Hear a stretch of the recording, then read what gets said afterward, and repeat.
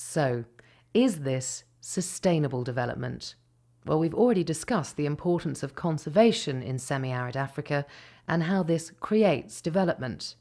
We've also shown how farmers dig terraces, build sand dams, and plant trees to conserve soil and water, and how this enables them to meet their priorities of water, food, and incomes.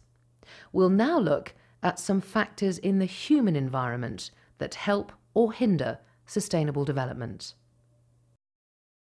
You may be familiar with the term top down development, whereby activities are defined and implemented by governments and large agencies without involving communities in either decision making or implementation.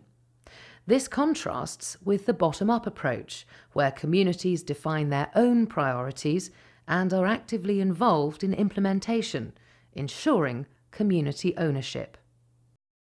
I wouldn't say they have done good or bad, depending on how people see what they did. But I, as a person, have worked for four charities, different charities.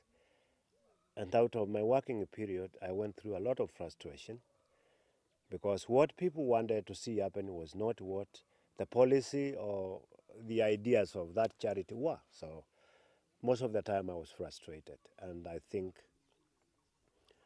the happy part of my life is I'm able now to be in a charity that says, listen to the people rather than to what the experts say. The local community itself must be involved. They must themselves identify the needs that they want to meet, the problems they want to solve. What we need to do is to accompany them in solving their own problems, but not create our own problems and go to try to go to solve them on their behalf.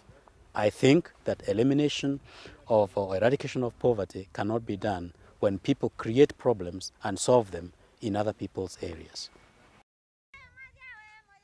Excellent development have a bottom up philosophy and approach. The start point is a community and their defined problems and priorities.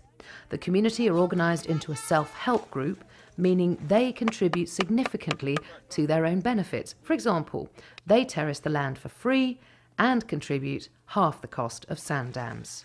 Excellent development was, was developed and born out of a successful model developed by Africans for Africans. An excellent development, all it does is to help that model be transferred and replicated in other parts of in other parts of Kenya and hopefully in the future in other parts of Africa as well. To further understand the philosophy and approach, let's hear what the people involved with excellent development have to say. Uh, excellent development, in the few years it has existed, we have been able to talk to communities according to their needs. They explain to us what they want to see happen, and then we are enabling them get to where they want to go, just giving them the knowledge that they need, enabling them do what they think is going to help them. One of the things about excellent development's work is that it, it requires a tremendous amount of community engagement. So it isn't just about a programme to go and build a latrine here, to go and build a dam there, to go and provide a goat here. It's about getting into the skin and under the skin of a community, working with them, understanding what their priorities are, understanding how they want to move forward, and then helping them to do it. That takes a lot of time. It takes people with the sort of skill that Joshua has to be able to do that. But in our mind, the only real way to help a community move forward and to continue to move forward once we've gone is to do it that way. I like the way that they work with the community to do it. And it's not just some people coming over and doing what they think should be needs to be done. It's it was like started over here and it's a lot to do with about the community as opposed to individuals' ideas of what should happen. One of the strengths of Excellent Development's work is the fact that we, we, we don't work with communities in isolation from each other. We, because we're a charity that works on the basis of listening to the people and acting upon that, actually the people themselves are the biggest power and the biggest um, enabler of development. So to enable uh, people to move forward, we bring the people together. So one community will go and visit another.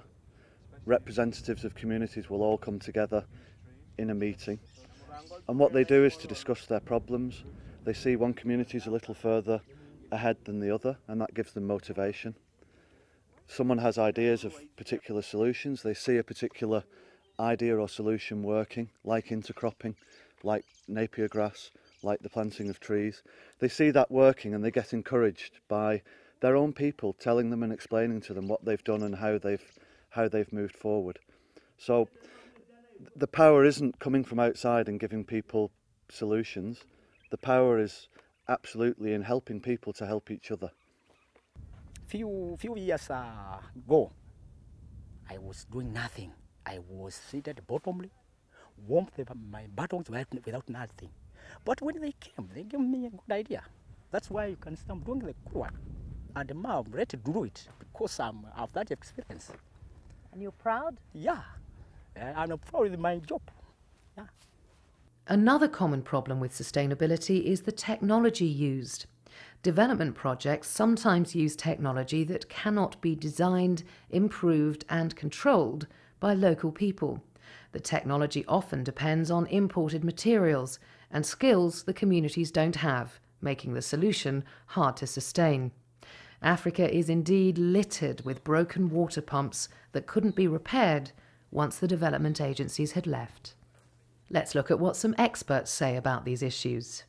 The dam behind us here uh, was uh, first constructed in, in 1985. The community here did not want to break the law, so they went to the district uh, uh engineer's office and they asked for plans and they were given plans.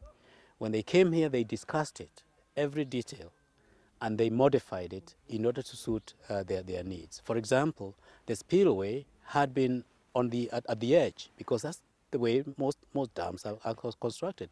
The community said, no, if we do that, the rainwater will come and wash away the dam.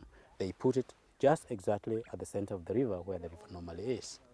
And they also discussed the, the mix. They wanted gravel mixed with sand. They said no, they're going to use local materials there. The boulders themselves would become part of the re reinforcement. A few years ago, I was here with this, uh, this engineer who is now teaching at one of our universities. He confirmed that they were right and the experts were wrong. When considering the technology the communities use, it's clear how simple but effective terracing and sand dams are. They're made entirely using local design skills and labour, all of the materials for sand dams are locally available, with most of them taken directly from the riverbed in which they're built. The beauty of sand dams is that you're creating springs, you're not utilising springs. So the sand dam will add water to the, to the community. And in actual fact, what's even more beautiful about them is that they're built from the river itself. So the water's collected, the sand that's collected in the river is used to build the dam, the stones are broken off by the community. So with the little bit of addition of cement and some steel, actually they're creating water for themselves out of the river itself. So this sums up Excellent Development's approach to sustainable development. And the final word goes to one of the farmers they work with. There's a saying that says, better train a, a child to to catch fish than to give to give him the fish. So by saying that I mean uh, the skill that we are getting now from excellent development is more important than the help that we can be given because you can give us one million and that million will, it will add up you know a month you'll find that there's nothing then we start we stay and we start stretching our hands again to borrow but when our mind is filled with the skill then we'll do for ourselves and that sums up sustainable development. Here are some more questions for you, which should be easier to answer now you've seen the film. Thank you for watching.